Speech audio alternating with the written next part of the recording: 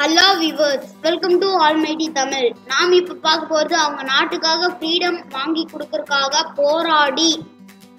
ஜெயிலுக்கு போயிட்டு திருப்பி பல வருஷங்களுக்கு அப்புறம் வந்து மக்களோட சேவை செய்கிற மாமனிதர்களை பத்தி தான் வாங்க வீடியோக்குள்ளேயே போலாம். முதலாவது மா மனிதர் நெல்சன் மண்டேலா. இவர் பிறந்த தேதி பதினெட்டு ஏழு ஆயிரத்தி தொள்ளாயிரத்தி பதினேழு. இவர் மெபோசோ கேப் ப்ரோவின்ஸ்ல இருக்கிற யூனியன் ஆஃப் சவுத் ஆப்பிரிக்கால பிறந்திருக்காரு. வாங்க அவரோட ஜனாதிபதி பயணத்தை பத்தி பார்க்கலாம். இவர் கருப்பினத்தவரை வந்து பல பேர் பல இதை டிஸ்கிரிமினேட் பண்றதை தடுக்கிறதுக்காக பல போராட்டங்களை நடத்தியிருக்காரு.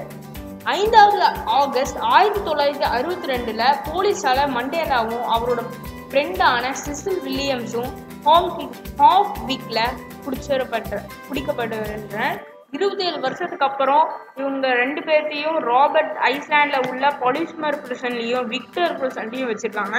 அதுக்கப்புறம் பல ப்ரெஷர் அதாவது மேலிடத்துல ப்ரெஷர் வந்ததுக்கு அப்புறம் ஆயிரத்தி தொள்ளாயிரத்தி தொண்ணூறுல வந்து மண்டே மண்டேலா வந்து டி கிளர்க் பிரசிடென்ட் வந்து விடுவிச்சிடுறாரு. அதுக்கப்புறம் ஆயிரத்தி தொள்ளாயிரத்தி தொண்ணூத்தி நாலுல நடந்த மல்டி ரேஷியல் ஜென்ரல் எலெக்ஷன்ல மண்டேலா வந்து ஜனாதிபதி கேண்டிடேட்டா இருந்து ஜெயித்து தென் ஆப்பிரிக்காவின் முதல் ஜனாதிபதியா ஆயிருக்காரு.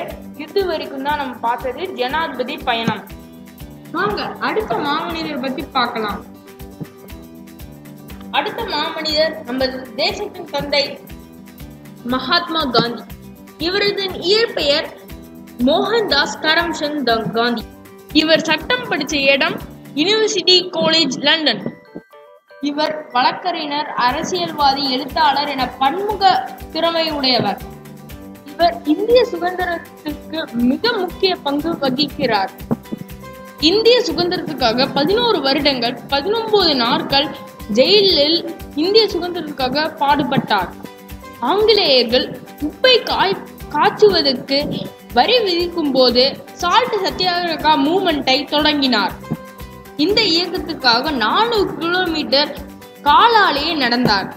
இப்போதாவது தேசப்பற்று இல்லாதவங்களுக்கு தேசப்பற்று வந்திருக்கும்னு நான் நினைக்கிறேன். இப்போ நம்ம சேனல்ல புதுசா ஆட் பண்ணியிருக்கிறது புது அறிவு கேள்வி அதாவது ஜென்ரல் நாலேஜ் முதல் கேள்வி என்னன்னு பாத்தீங்கன்னா விண்ணில் முதல் செயற்கைக்கோளை அனுப்பிய நாடு எது? Which country sent the first satellite in space இந்த கொஷின்கான ஆன்சரை இந்த கமெண்ட் பாக்ஸில் நீங்கள் பண்ணலாம். இந்த கமெண்ட் பாக்ஸோட மெத்தட்ஸ் வந்து இந்த வீடியோ விளக்கும் உங்களுக்கு. உங்களோட டைம் டென் செகண்ட்ஸ்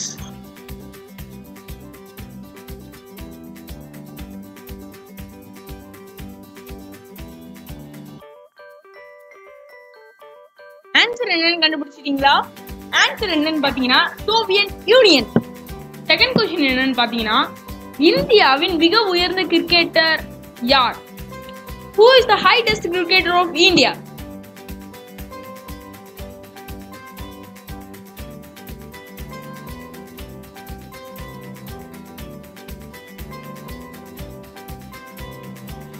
விடை Ishant Sharma. One point ninety three meter உடைய இவர் இந்தியாவின் வேகப்பந்து வீச்சாளர். மூன்றாவது கேள்வி டோக்கியோ ஒலிம்பிக்ஸ் ஏன் ஒத்திவைக்கப்பட்டது? அதாவது why did Tokyo Olympics postponed.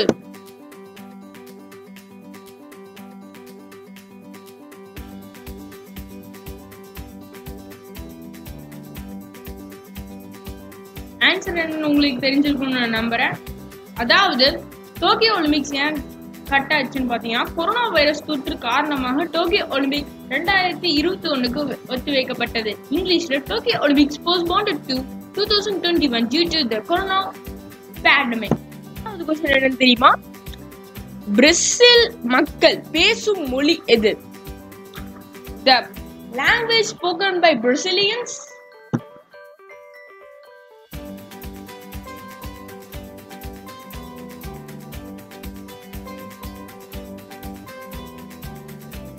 கண்டுபிடிச்சிட்டீங்களா? விடை போர்ச்சுகீசிய மொழி. ஆன்சர் போர்ச்சுகீஸ் லாங்குவேஜ் என்னன்னு தெரியுமா? Which planet is also known as red planet எந்த கிரகம் சிவப்பு கிரகம் என்று அழைக்கப்படுகிறது?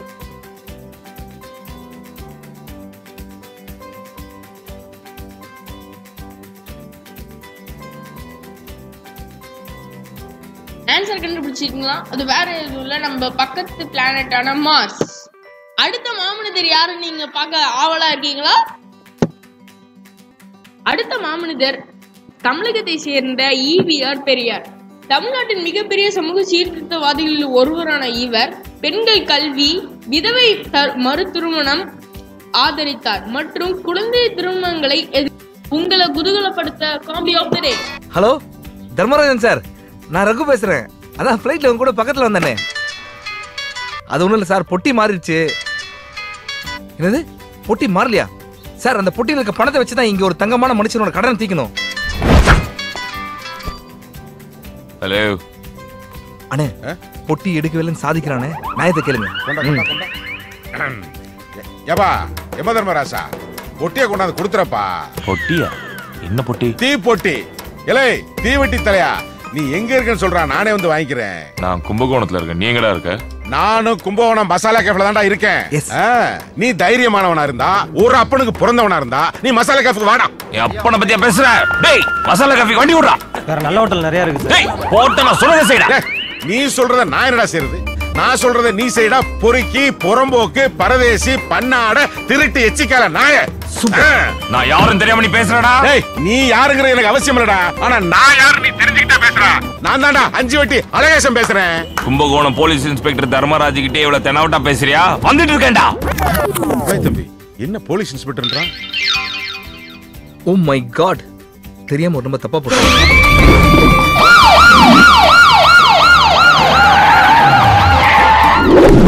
தம்பி. நீங்க என்ன பண்ணுங்க? பின்வாசல் வழியா எஸ்கேப் ஆயிடுங்க. போன் ஆன் பண்ணாதீங்க. ஆன் பண்ணா ஜிபிஆர்எஸ் ட்ரேஸ் பண்ணுவாங்க வீடு போவாதீங்க வாரண்டோட வந்து பிடிச்சிருவாங்க. சார் இதுதான் அந்த மசாலா காப்பே. நம்பர் தப்பா போட்டா கூட தப்பிக்கிற ஐடியா கரெக்டா கொடுக்குறீங்க. நான் ஏஆர்எஸ் லாஜ்காரனுக்கு வட்டிக்கு பணம் கொடுத்துருக்கேன். அங்க போய் ஒளிஞ்சுக்கிறேன் போங்க. ஏய் யாரா அந்த அஞ்சு வட்டி அழகேசன்? யாரா அது? Sir morning sir? யோ நீ என்ன பண்றீங்க? இது எங்க ஹோட்டல் சார்? சினு சாதா இன்ஸ்பெக்டர் தர்மராஜன் தினமும் இவர் ஸ்டேஷன் போய் தான் கைது பண்ணோம் டேய் நீ அல்வா சீனு தானே? ஏய் நீ புலிமுட்டை ராஜா தானே? படிப்பறலன்னு உங்க அப்பா கடையில உட்காந்துட்டே நீ? ஆமா நீ மட்டும் என்னமோ ஐபிஎஸ் எழுதிட்டு இந்த போலீஸ் வேலைக்கு வந்த மாதிரி. ஏன்டா ஒவ்வொரு கிளாஸ்லயும் மூணு வருஷம் உட்காந்து படிச்சது எனக்கு தெரியாதா? ஆமா நீ எப்ப கும்பகோணத்துக்கு வந்த? இப்பதான் டிரான்ஸ்ஃபர் ஆச்சு. சரி சரி யாரா அஞ்சு வட்டி அழகேசன் அது அவர் ஹோட்டல் சாப்பிட வந்தார் சார். ஒரு பண்ணி பையன் பொட்டியோட வருவான் வாங்கி வைன்னு சொல்லிட்டு ஏஆர்எஸ் லாட்ஜ் போயிட்டார் சார். டேய் சீனு நான் உன்னை அப்புறம் பாக்குறேன்டா யோ அந்த ஏஆர்எஸ் லாட்ஜ் எங்கயா இருக்கு? ஆ ஓகே ஓகே. கையில மாட்டட்டான் அவன். இன்னும் கொஞ்ச நாளைக்கு அழகேசன் தொல்லை கிடையாது.